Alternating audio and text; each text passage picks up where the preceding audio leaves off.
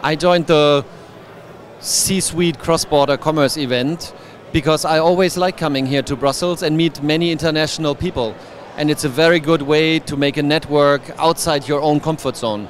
So that's very helpful. I like that very much.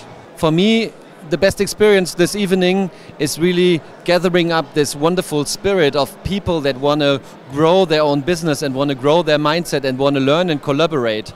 So we all have the same challenges, but everybody comes from a different situation. And if we cooperate, that really helps. And talking about our challenges brings us some solutions that we haven't thought about before. So that's what I like about the C-suite event. The cross-border challenges, especially in the direct-to-consumer business, they are always the same.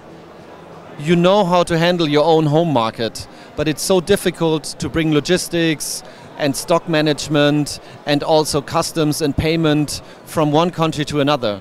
It's easy when you know how to do it. And that's my role as a chairman for the direct to consumer brands to help them to understand the game of digital commerce and also to become more international. So that's a really good format of helping brands to increase their share of cross border commerce in Europe.